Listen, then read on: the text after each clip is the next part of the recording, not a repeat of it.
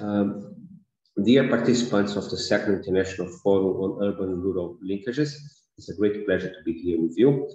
Uh, my name is Adriano Campolina. I'm a senior policy officer uh, in FAO, uh, and um, I'm very grateful to the invitation.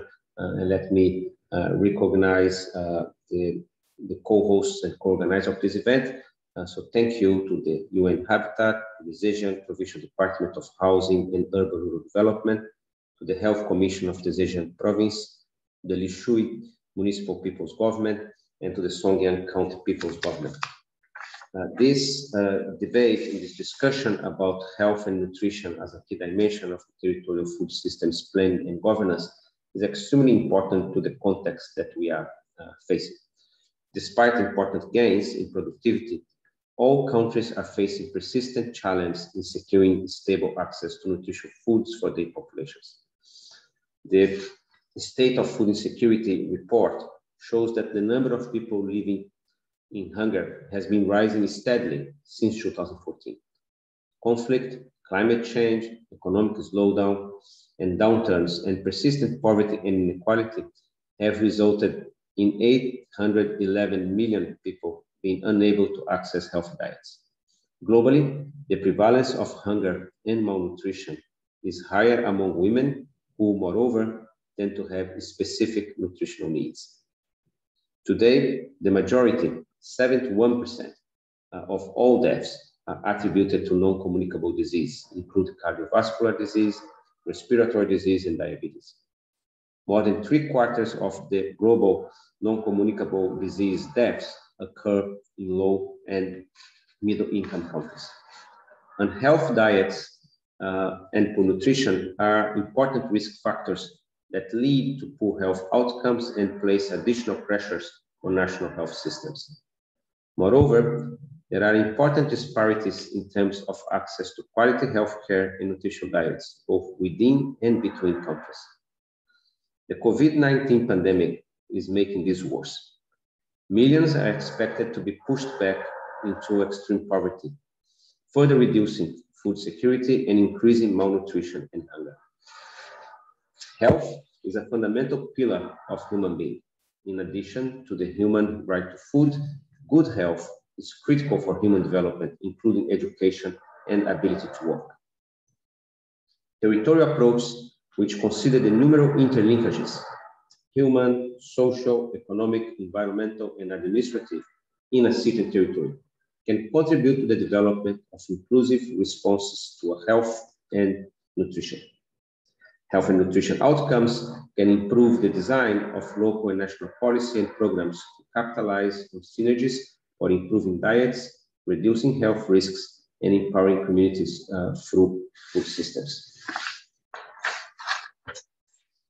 Uh, let's look more in depth on this uh, uh interdependence uh, between health and territorial planning and governance.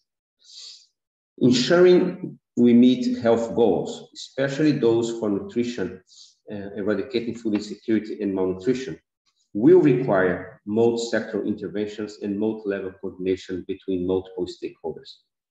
Those three pillars, uh, those three, those three uh, elements, uh, multi-sectoral interventions, multi-level coordination, and multi-stakeholder participation are at the core uh, of territorial planning and governance.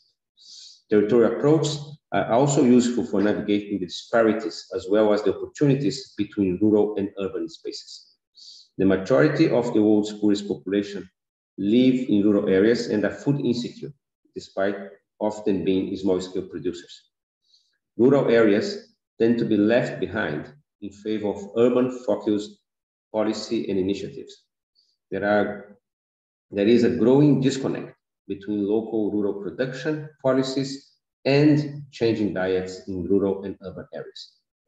However, rural areas can be important drivers of improving food, security and nutrition for rural and urban communities. Territorial approach can support the development of a coherent and coordinated of coherent and coordinated strategies that cap capitalize on territorial assets across the urban-rural continuum territorial approach provide the lenses and the tools to really uh, deepen into uh, policies and, and initiatives that are based on the interlinkage between rural and, and urban uh, areas.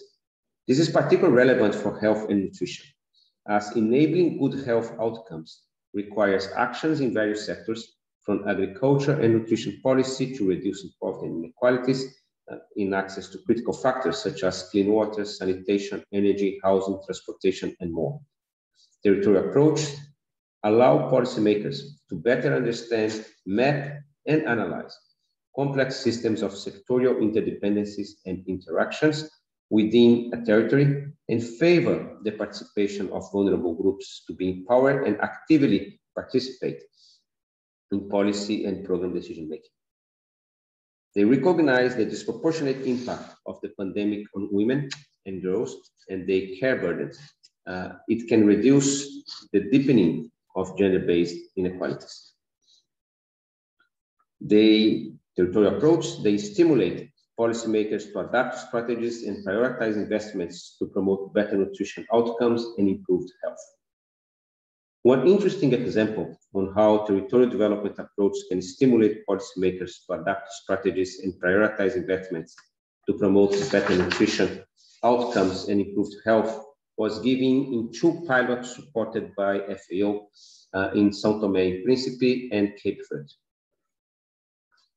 Those experiences started with a broad diagnostic assessment uh, that was implemented in 2019 by the executive secretariat from the CPLP, the Community of Portuguese-speaking countries, uh, and involves a national and local team composed by 10 members and participants of each country's national food and nutrition security councils, which encompasses uh, the participation of relevant national directors from different ministries, civil society, uh, and private sector representatives. The initial diagnostic assessment revealed an apparent disconnect between eating habits, which are increasingly, increasingly dependent on globalized food chains, and local production.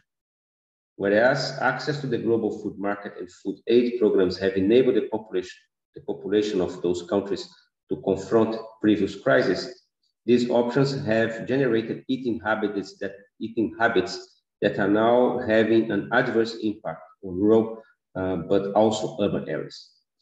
More vulnerable producers are intensifying their farm systems, uh, sometimes uh, even uh, uh, creating additional additional pressure on forest lands uh, and also having increased use of pesticides and specializing the production in a way that they are not consuming the products since all the production is commercialized in the city capital.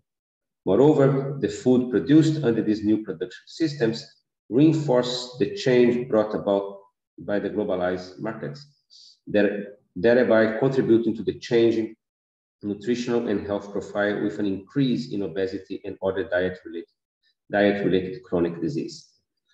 The work done in those two countries, Cape Verde and São Tomé and Príncipe, uh, allowed for the capacity building and the development of a set of policy and program proposals to be implemented local and national levels, allowing the development of multi-sectorial territorial policy involving the ministries of agriculture, education, environment, tourism, and planning. This, this set of policy and program proposals focus on this uh, development of, uh, of uh, agroecological sustainable food production uh, that would have a very strong impact in terms of changing and promoting healthy diets and therefore contributing to better health outcomes. Uh, it also included uh, the discussion of, of, how to advance uh, health systems in each one of those territories. To conclude, I would like to mention that FAO stands ready to support the development of partnerships uh, and joint territorial interventions, having at the core the health and nutrition dimensions in rural and urban areas. We believe that the promotion of sustainable food systems and healthy diets incorporates these important dimensions, and therefore we would be happy to continue to exchange knowledge with other interested organizations. We will now move uh, also into, uh, based on those experiences, uh, develop a methodological tool uh, that will help on the on the territorial diagnostics of food systems, uh, enabling the development of comprehensive nutrition, health, and agricultural policies that can uh, bring about the, the, the, the achievement uh, of the SDGs and uh, leaving no one behind. So with those words, I thank you very much for your attention and, and, and we uh, wish you excellent continuation of the debates. Thank you and good evening.